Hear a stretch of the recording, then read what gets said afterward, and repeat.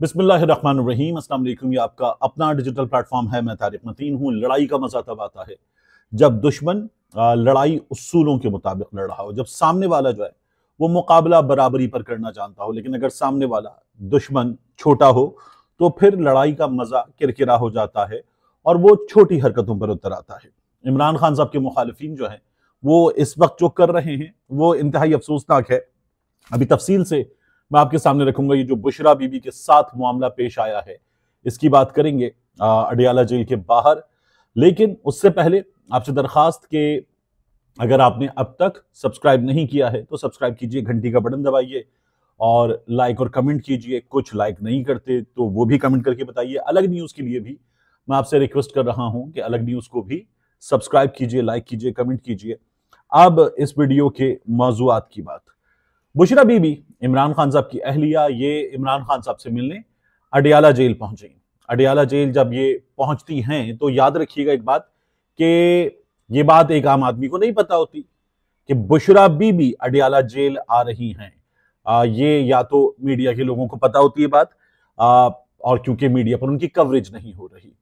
और social media Pakistan में हर तरह का आदमी तो यूज़ भी नहीं करता मतलब आ, सोशल मीडिया यूज़ किया जाता है मगर ये खबरें आती है ट्विटर पे मोस्टली। तो ट्विटर बहुत कम यूज़र हैं। बुशरा बीबी के वहाँ पहुँचने पर, अब ये खबर जो है, ये जेल हुकाम तक मौजूद है। ये इमरान खान साहब जिनकी कैद में है, उन तक मौजूद है। बुशरा बीबी के वहाँ पहुँचने पर कुछ आठ दस लोग या मैक्स दर्जन के करीब लोग, ये पहुँच गए। इन्होंने बुशरा बीबी की गाड़ी का घेराव कर लिया और घेराव करने के बाद इन्होंने नारे लगाए। जो इन्होंने नारे लगाए, वो नारे बड़े मखसूस नारे हैं। उन नारों से डायरेक्शन समझ में आती है। इन्होंने नारे लगाए, इद्दत में निकाह नामंजूर। इसके अलावा इन लोगों ने नारे लगाए काला जादू नामंजूर। तो ये बुशरा बीबी के खिलाफ नारेबाजी करते हुए गाड़ी का इन्होंने घेराव किया। अडियाला जेल के बाहर मेन रोड पर था तो कुछ वहाँ पर पुलिस ऑफिशियल्स भी मौजूद थे, सिपाही मौजूद थे, एक दो सीनियर्स मौजूद थे, कुछ बुकला भी मौजूद थे। बुकला ने जवाबी नारेबाजी की और नारेबाजी करके इमरान खान जिंदाबाद के नारे लगाए।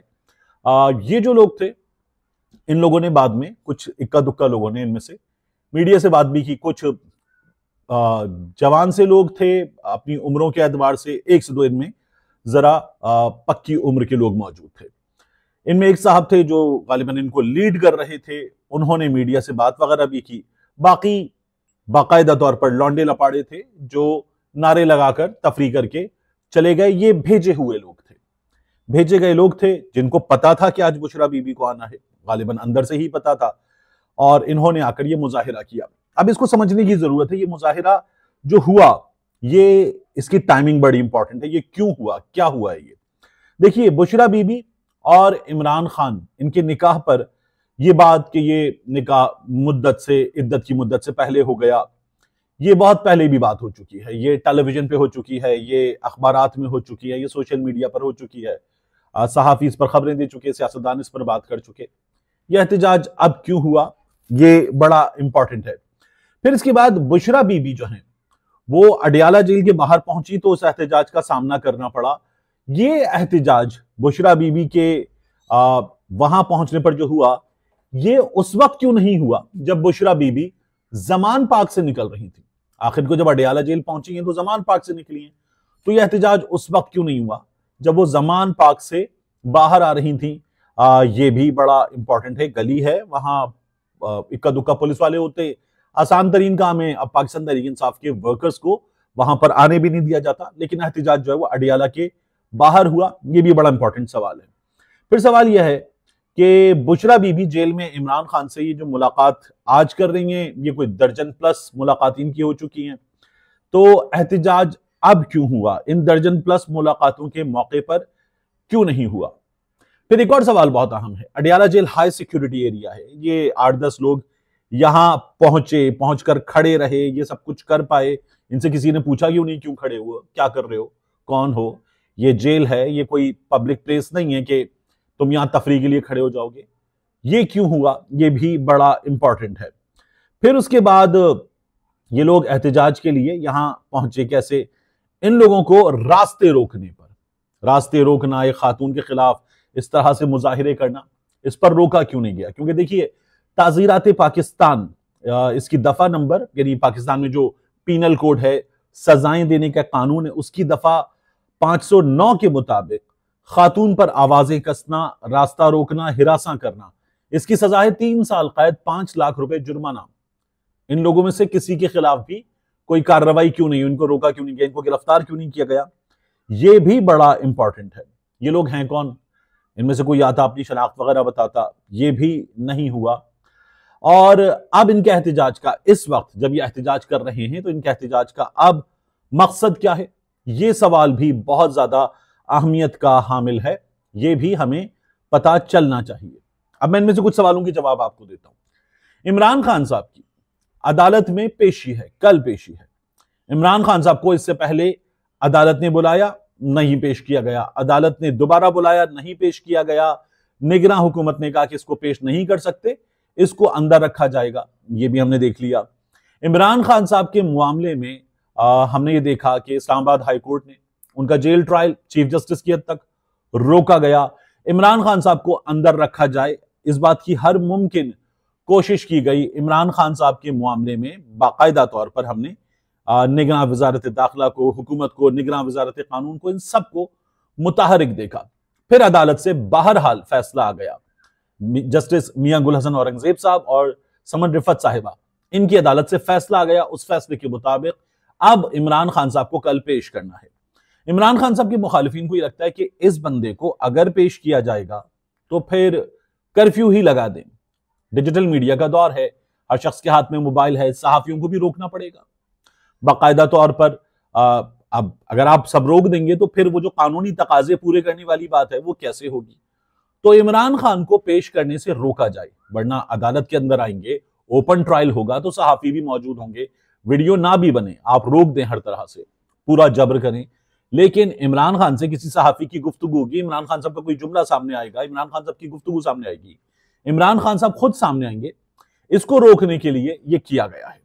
कि देखें, अडियाला जेल के बाहर तक लोग पहुँच गए हैं, इमरान खान को नहीं पेश किया जा सकता, ये इसलिए किया गया है इमरान खान खुद सबक वज़ीर आज़म है, उनकी जान को खतरा है, ये इसलिए किया गया है। कौन कर रहा है? ये वही सिस्टम है जिसने इमरान खान के लिए कहा था, लेकर आओ। व्हील चेयर पे लेकर आओ स्ट्रेचर पे लेकर आओ, लेकिन लेकर आओ। वो अपने सर पे जो एक काले रंग का बॉक्स सा पहनकर आते थे बुलेट प्रूफ और चादरें बुलेट प्रूफ चारों जाने लोग लेकर चलते थे तो उस पर मज़ाक उड़ता था। लेकिन लेकर आओ, इन हालात में भी लेकर आओ। वजारत दाखिला कह रही है, इसकी जान को खतरात हैं तो भी अदालत सुनने को तैयार नहीं थी। अदालत का कहना था इस शख्स को लाना होगा ये शख्स पेश किया जाएगा ये हमने देखा था। मगर अब इमरान खान साहब के इस मामले में आ, जब अदालत ने कह दिया कि लेकर आओ और इसका जुडिशल कॉम्प्लेक्स में केस लगेगा तो वहाँ पर यह तैयारी है कि इमरान खान साहब जो हैं उनको पेश ना किया जा सके इसलिए ये आज एहतजाज हुआ है। और इस एहतजाज में आपने देखा कि बुशरा बीबी साहिबा जो हैं उनको निशाना बनाया गया है। इसकी वजह क्या है? देखिए, इसकी वजह यह है कि इमरान खान साहब सामने आ गए तो लोगों तक उनकी तस्वीर आएगी, उनकी बात आएगी। उनके कारकुन इस वक्त वैसे ही चार्ज हैं, उनके वर्कर्स कन्वेंशन खैबर पख्तूनख्वा में हो रहे हैं, बहुत भरपूर हो रहे हैं, उनका कोई तोड़ भी नहीं निकल पा रहा। इसलिए इमरान खान साहब सामने आ जाएँगे चार्ज इन्वायरमेंट और चार्ज हो जाएगा तो इमरान खान साहब को रोकना ज़रूरी है। इसलिए ये सब कुछ किया गया ठीक अडियाला जेल के बाहर। गो के तैयारी है। किसी ना किसी हवाले से तैयारी है, क्योंकि इंतज़ाम के लिए कह दिया गया है, पुलिस को लिख दिया गया है, अडियाला जेल की इंतजामिया ने कहा है कि कल इमरान खान को पेश किया जाना है। इस सिलसिले में इंतज़ाम किए जाएँ। तो कर्फ्यू जैसे इंतज़ाम की तैयारी है, जावेद चौधरी साहब ने बताया था कि वहाँ पर अगर कारकुन आना चाहेंगे तो आने वाले कारकुनों को पुलिस गिरफ़्तार करेगी, गिरफ़्तार करके 9 मई के मुकदमात में अंदर डाल देगी। ये बता दिया गया था। तो अब इन हालात में इमरान खान साहब को पेश करने का रिस्क लेना, निगरान हुकूमत की जानब से, इमरान खान साहब के मुखालफी की जानब से बड़ा मुश्किल काम है। दूसरी जानब आप क्या देख रहे हैं? मियाँ नवाज़ शरीफ की पेशी है। जब आप ये वीडियो देख रहे होंगे, मुमकिन है पेशी हो चुकी हो। और मुमकिन है मियाँ साहब का मामला सुलट चुका हो, निमट चुका हो, खत्म हो चुका हो। लेकिन बहरहाल मियाँ नवाज़ शरीफ पहले मरी पहुँचते हैं, ताकि यहाँ इस्लामाबाद तक की जो ड्राइव है, उससे बचें एक गो में। मरी पहुँचेंगे, मरी में पुरफिजा मकाम पर मियाँ नवाज़ शरीफ साहब पहले आराम करेंगे, फिर उसके बाद वहाँ से उतरे, उतर के साहब डार साहब के घर पर आ गए। इस्लामाबाद वाले वहाँ से फिर मियाँ साहब जो है, वो दो बजे का अदालत ने वक्त रखा है, अदालत जाएँगे। मियाँ साहब का ये केस हमें तेज़ी से चलता हुआ नज़र आ रहा है, क्योंकि नैब का अब ये कहना है कि हम ये केस नहीं चलाना चाहते। नैब यहाँ तक पहुँच चुका है। नैब ने वैसे भी कहा था, हमें आधा घंटा चाहिए। अदालत में उस पर कह कहीं लग रहे थे। तो मियाँ साहब का ये मामला तेज़ी से आगे चलेगा। इमरान खान साहब का जो मामला है, कल पेशी का, कुछ घंटों में हमारे सामने बात आ जाएगी। लेकिन इसको रोकने की जो कार्रवाई है वो बाकायदा तौर पर शुरू हो चुकी है बहुत इंपॉर्टेंट है आ, लेकिन ये हो गया है। दूसरा मैं आपके सामने रखूँ आज दो कॉलम लिखवाए गए लिखे गए सॉरी माफ़ कीजिएगा मैं कह रहा हूँ लिखवाए गए। सीनियर कॉलम निगार अंसार अब्बासी साहब और सोहेल वड़ाई साहब दोनों के रोजनामा जंग में कॉलम आए। अब अंसार अब्बासी साहब के कॉलम का क्रक्स क्या है? वो ये कहते हैं कि 9 मई के बाद अगर पीटीआई के अंदर कोई अब भी ये सोच रहा है कि अपनी मकबूलियत के बायस वो कोई नई लड़ाई, लड़कर जीत सकता है। तो ऐसा मुझे मुमकिन नज़र नहीं आता। यानी अंसार अब्बासी साहब को मुमकिन नज़र नहीं आता। ना ही पाकिस्तान की कौम, बशमूल पीटीआई वोटर्स की बड़ी अक्सरियत, अपनी ही फौज के साथ लड़ने के लिए तैयार है। अंसार अब्बासी साहब जो है, वो ये बात भी कह रहे हैं। तो बात यह है कि क्या पाकिस्तान की फौज से पाकिस्तान की कौम, इमरान खान साहब के वोटर लड़ना चाहते हैं? ऐसा तो हमने कहीं भी नहीं देखा, लेकिन ये बाकायदा तौर पर इंप्लाई कर रहे हैं। इस बात पर ज़ोर दे रहे हैं बार बार कि नहीं, पाकिस्तान तरीके इंसाफ के वोटर्स सपोर्टर्स इमरान खान साहब के वर्कर्स फौज से लड़ने के लिए तैयार है और फौज से अगर लड़ेंगे तो ये लड़ाई वो जीत नहीं सकेंगे। और फौज से लड़ाई, अब फौज से लड़ाई की अगर बात हो रही है तो फौज से लड़ाई कौन करना चाहेगा? फौज से लड़ाई कौन कर सकता है? फौज से लड़ाई कौन जीत सकता है? नहीं जीत सकते और करनी भी नहीं चाहिए आपको अपनी फौज से लड़ाई। आपकी फौज, आपकी ताकत होती है। हाँ मगर ये जो सिविलियन सुप्रीमेसी की बात है इस बात पर इख्तलाफ मुमकिन नहीं। इदारों को अपनी हदूद क्यूद में रहकर काम करना है, इस बात से इख्तलाफ मुमकिन नहीं और इदारों को अपने डोमेन में रहना है। तो सिविलियन सुप्रीमेसी की लड़ाई तो है। तो सिविलियन सुप्रीमेसी की लड़ाई जो है, वो वैसे भी सड़क पर आकर इस तरह से नहीं लड़ाई, लड़ी जाती। वो वोट की ताकत से लड़ी जाती है, वो फैसलों की ताकत से लड़ी जाती है, उसमें अपना हक मांगा जाता है। इस लड़ाई को लड़ने का तरीका ये हुआ करता है। दूसरी जानब, सुहेल वड़ाइज साहब ने एक कॉलम लिखा है, अंसार अब्बासी साहब के बाद सुहेल वड़ाइज साहब अपने कॉलम में क्या लिखते हैं? वो लिख रहे हैं कि गुजश्ता रोज निगरान वज़ीर आज़म, वैसे याद आया, निगरान वज़ीर आज़म से अनवारुल्ला काकड़ साहब की भी। आज मियाँ नवाज़ शरीफ साहब की पेशी, कल 28 तारीख को इमरान खान साहब की पेशी 29 तारीख को अनवारुल हक साहब को, वज़ीर दिफा साहब को दीगर लोगों को बुलाया गया बलोच तलबा के मामले पर, लेकिन उन्होंने पहले ही बता दिया था कि मैं तो बैरून मुल्क हूँ तो मैं दफ्तर के ज़रिए रिप्रेजेंटेशन दूँगा। तो बहरहाल, निगरान वज़ीर आज़म चीफ ऑफ़ आर्मी स्टाफ और पंजाब की वजी अला समेत एक वफ्त खलीजी ममालिक के दौरे पर गया है। सुहेल भाई साहब, इतनी उम्मीद ज़ाहिर की जा रही है कि दो खलीजी ममालिक से 20 से 25 अरब डॉलर की सरमाकारी आएगी। अगर यह ऐलान सामने आ जाता है तो इसके बड़े वाज सियासी और मुआशी असरात होंगे। मुआशी तौर पर इससे डॉलर कमज़ोर और रुपया मज़बूत होगा। स्टॉक मार्केट तेज होगी, वैसे स्टॉक मार्केट वैसे ही बहुत तेज है। और मजमूई तौर पर पाकिस्तानी मीशत दबाव से निकलकर सेहतमंदी की तरफ़ चल पड़ेगी। अफवाह यह भी है कि मीशत में बेहतरी के बाद फरवरी इलेक्शन में ताखीर हो सकती है, क्योंकि यह सोचा जा रहा है कि अगर फरवरी में इलेक्शन हो गया तो मुआशी बेहतरी में एक वक्ती वक्फा आ सकता है। यह भी कहा जा रहा है कि अभी तहरीक इंसाफ के सियासी उभार का मुकम्मल तदारुक नहीं हो सका। ये दूसरी बार बिल्ली थैले से बाहर आई, पहली बार अडियाला के बार बाहर आई है। अब यह आई है कि तहरीक इंसाफ के सियासी उभार का तदारुक नहीं किया जा सका है। अब सोहेल वाले साहब आगे लिखते हैं, कहा जा रहा है कि इंतबात फरवरी से अगस्त, सितंबर तक ले जाए जा सकते हैं। Chief justice, mister justice Qazi Faez साहब कह चुके पत्थर पे लकीर, आठ फरवरी, किसी एंकर को भी बात करनी है। तो अपनी अहलिया को बता दे, लोगों में माइक लेकर जाना टेलीविज़न पे बात करना, ये नहीं हो सकता।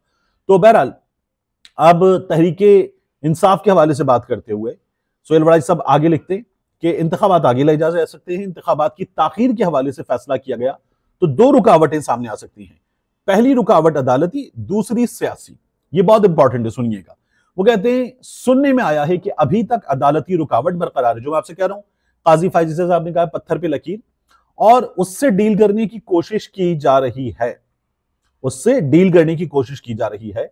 सियासी रुकावट के हवाले से कहा जा रहा है कि पीडीएम की दो बड़ी जमातों को इस ताखीर पर एतराज़ नहीं होगा। पीडीएम की दो बड़ी जमातें, यानी कि मियाँ नवाज़ शरीफ साहब की जमात फजल रहमान साहब की जमात। इवन एम क्यू एम भी इनको ताखीर पर एतराज़ नहीं होगा कि इंतबात आगे चले जाएँ। इस्तेकामी पाकिस्तान पार्टी, वो तो बाकायदा तौर पर कह रही है कि हमें मजीद वक्त चाहिए। हम अभी आए हैं, हमारे पास बंदे आ रहे हैं, हमने अभी तक मोबिलिटी नहीं की। हमारी बाकायदा तौर पर लोगों को कन्विंस करने की कैंपेन ढंग से शुरू नहीं हो सकी है। और जितनी उन्होंने एफर्ट्स किए, वो तमाम एफर्ट्स भी कितनी ठुस, कितनी फुस है, हमने देख लिया है। तो इस्तेकाम पाकिस्तान पार्टी भी परेशान है। तो इंतबात आगे चले जाए, इसमें उनका भी फ़ायदा है इस्तेकाम पाकिस्तान पार्टी वालों का। तो रुकावट कौन है? रुकावट इमरान खान की जमात। जिस जमात के पास बंदे छोड़कर जा रहे हैं, तोड़वाए जा रहे हैं इस्तेकाम में, और खैबर पख्तूनख्वा में वो खटक की पार्टी में डाले जा रहे हैं। वो जमात कह रही इंतबात कराओ। जिस जमात का लीडर जेल में है, वो जमात कह रही इंतबात कराओ। जिस जमात को जलसों को तो दूर कॉर्नर मीटिंग्स की भी इजाज़त नहीं है, बल्कि कॉर्नर मीटिंग्स भी क्या, उसके वर्कर्स को बाहर निकलकर अपनी जमात का फ्लैग उठाकर, पटका डालकर, टोपी पहनकर बाहर निकलकर कोई भी एक्टिविटी करने की भी इजाज़त नहीं है। ये पाकिस्तान तरीके इंसाफ का हाल है और इस हाल के बावजूद भी। पाकिस्तान तहरीक इंसाफ वाहिद जमात है जो कह रही है कि इलेक्शन कराओ। मियाँ नवाज़ शरीफ साहब, उनकी जमात, वो इलेक्शन का नाम जो है, उस तरह से नहीं ले रहे। वो कह रहे हैं कि हम इलेक्शन के लिए तैयार हो चुके हम अपना मंशूर भी तैयार कर रहे हैं। लेकिन जो उनकी मकबूलियत का हाल है वो तैयार नहीं है। सोहेल बड़ा साहब आखिर में लिखते हैं कि पाकिस्तान जैसे मुल्क में ये बात समझ लेने की है। अब सोहेल बड़ा साहब और अंसार अब्बासी साहब इस मामले में एक जगह पर मौजूद है। ये बात समझ लेने की है कि आपको सिर्फ़ मकबूलियत नहीं चाहिए, आपको कबूलियत भी चाहिए। यह है वो सिविल सुप्रीमेसी वाला पॉइंट, सियासी, जमहूरी बालादस्ती वाला पॉइंट, जहाँ पर इदारों के अपने अपने डोमेन में रहने की बात आती है। मगर हमारे सीनियर तरीन लोग जो हैं, वो भी मुख्तर कुतों की इस बालादस्ती को न सिर्फ़ ये कि उसकी वकालत भी कर रहे हैं, तस्लीम भी कर रहे हैं, और ये है इसको ऐसे ही चलने दिया जाए, ये भी बात करने पर ये लोग मजबूर हैं। मिलते हैं इंशाल्लाह आपसे अगली वीडियो में।